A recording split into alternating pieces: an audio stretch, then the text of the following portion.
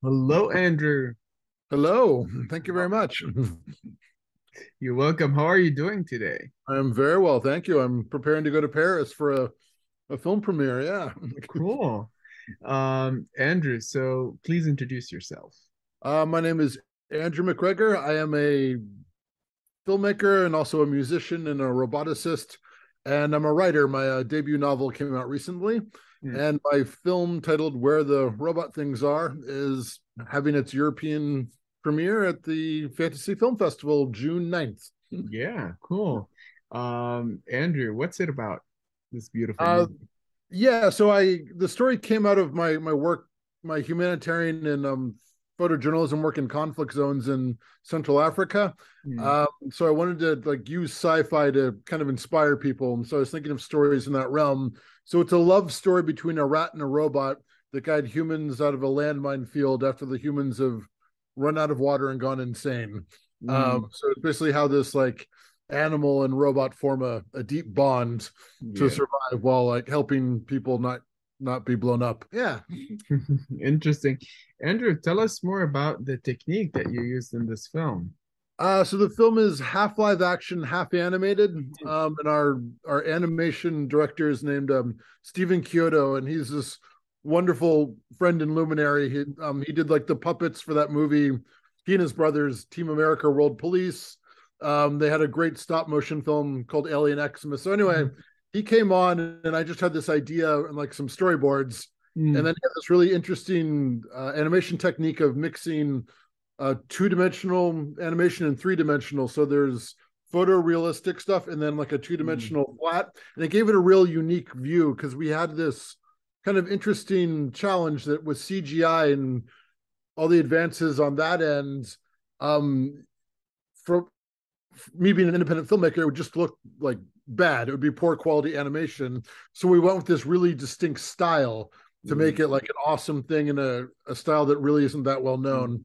Um, and yes, that was the that's the Mm. animated half of the film. The film's not half animated, half Yeah. And and how much time did it take you to to film and then to add the the, the post production? Uh there was it was probably about eight years, six to eight years. it was supposed to be this like project where you go out to the desert with your crazy actor friends, and I'm like, and direct it. and it started that way so we had there was like a, a version of that and then because i being in los angeles you meet all these amazing people so then Mhm. i have a good cinematographer friend who brought out his whole like red kit right Mm. and so he he brought like $150000 of gear and lenses and i'm Mhm. like oh so when he like created that level of quality of like the live action scenes um the the animation like had to match so Yeah. it, the, the film it was supposed to take like a weekend and it took um about six to eight years um because people kept making it better and contributing more and and it wasn't like funded properly and all that stuff um Yeah. so yeah Cool. Andrew, what what would you change now in the in the film? like looking back as like a filmmaker like oh i can't look um eh, I, I i like it i it, it Mm. stands yeah um i don't really dislike anything in it um I'd, I'd like to make it a longer thing. It's a short film. Mhm. I think it, it would deserve a the story. I think could be Mm. Yeah, like a compelling longer thing. So maybe I would make a longer version because I I was like hesitant to kind of explore like the emotional depth of everything because I had this idea of a short film. But yeah, I would probably make a a longer version, right? Like the short film is the trailer for the the feature that needs to be born or something like that. But um, I'm fairly yeah. Everyone gave their creative best, so I'm very grateful. Really, Yeah, exactly. Actually, that was my next question. Are you considering a feature? But w would it be would it be like a mix of both techniques, or would it be an an, an animation or? I think it would have to be mixed to kind of keep that original Mm. style. There's a, and it's interesting because it's not a really honed, fleshed out genre. Like there's that odd Brad Pitt film called Cool World, uh, which kind of mixed and like Who Framed Roger Rabbit and things like that. Mm, But with with the dominance of CGI, people have gone like all in. They don't mm, mix the worlds much anymore. Um, yeah, I think I would. I would. I like the blend. I like the half have photoreal with the overlay of the animation. So I would keep the animation style, mm. I think, and extend it longer and just have shorter live action scenes, if any. Yeah. Cool. Um, Andrew, well, it, it happened to know, I happen to know that you're performing somehow in Paris, and you've been you've been doing this for the you know you, you, you did it during the past year. Could you tell us more about that? My bagpipe performances? Or... Yes. Oh yeah. So I I play um an instrument called the the bagpipes, which I have here. Um, uh, they're quite well known. Yeah. And yeah. So I I started to to I um I uh, I do a sport called chess boxing, which I don't know the French translation. So yeah, I serve as a a judge. I'll ask Google. yeah, um, people. It's alternate rounds of chess and boxing, and you win by a checkmate or knockout. So I um I'm a, a pioneer of the sport and a, a champion in North America. So mm. I was I was flown to France for a, a big event in Paris, and I mm. played bagpipes at the opening ceremony, and then I served as a judge. it was quite amazing. Yeah. Um, and then I also like played Le Marseillaise in front of the Eiffel Tower because mm. I, I, had to. Um, of course. um, Andrew, what do you do? Uh, not what do you do? What do you say to emergent filmmakers? Um, just do it, like, and and have faith and ignore mm. reality. You know, just mm.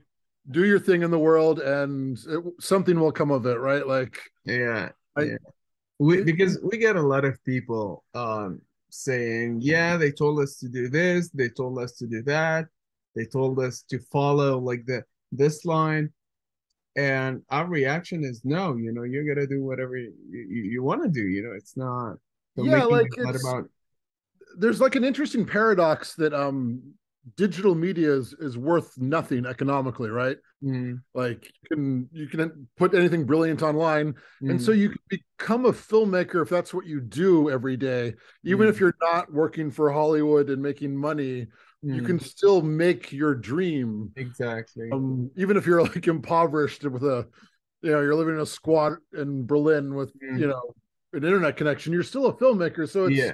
it's interesting, like this kind of thing of like Hollywood stuff and you being able to live the life of an artist and have your own vision. Mm-hmm. and i think that's that's really unique. So yeah, yeah, you can do it. You just might have to modify the rest of your life to make that possible. Yeah. Cool. but yeah the, the, tech is here. Yeah. Mm-hmm. yeah um was that somebody behind you or a that, ghost? that was somebody. Um I, I take care of my father a little bit and he like yeah. forgets that we're on Zoom from now on. um, yeah, and then so what's interesting this year, and actually last year, but the, you know, I want to talk about this year for fantasy, is that we have like professional, you know, filmmakers and professional distributors.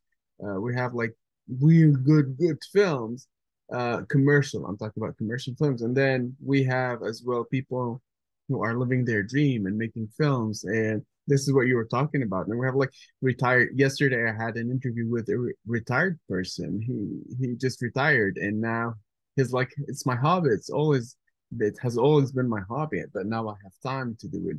So mm. it's super interesting what you said about now we can do it. We just can live our dream. Yeah. Cool. Um andrew one last thing you want to add to this interview? Um yeah, I, I, will be in Paris for the the premiere on June 9th. So I'd love to meet anyone who's there. And then also please connect with me through my social media or my website. Um, my website's the mightykingdrew.com and then my Instagram is also the mighty king drew um T H E M I G H T Y K I N G D R E W dot com. Yeah.